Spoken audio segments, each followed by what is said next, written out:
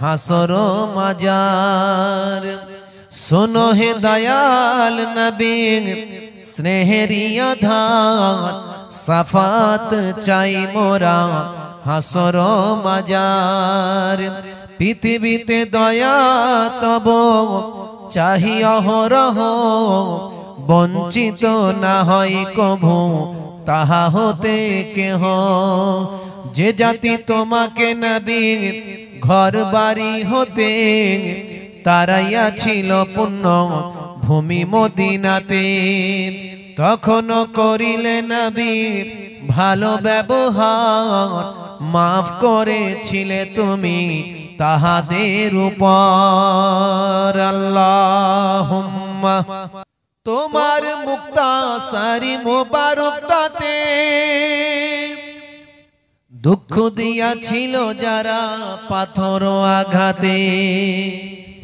তোমার মুক্তা সারি মোবারক তাতে। দুঃখ দিয়াছিল যারা পাথর আঘাতে।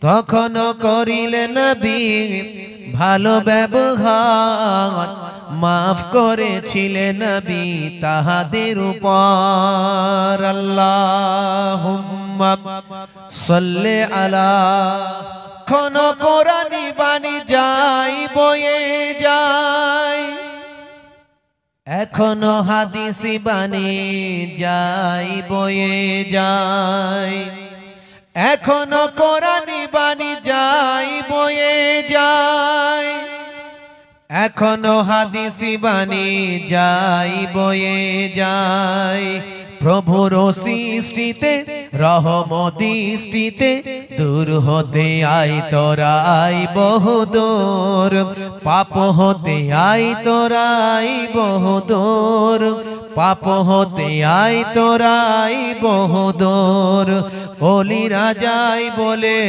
বই খুলে খুলে, পাপ হতে আই তোরাই বহুদূর আল্লাহ আসসালামু আলাইকুম, আমরা দেখছেন এইচবি নিউজ জলসা পীর সাহেব পীরজাদা হুজুরদের নিত্য নতুন আওয়াজ আর গজল পেতে আমাদের চ্যানেলটি সাবস্ক্রাইব করুন। ঘন্টি বেলাইকান দাবি আমাদের পাশে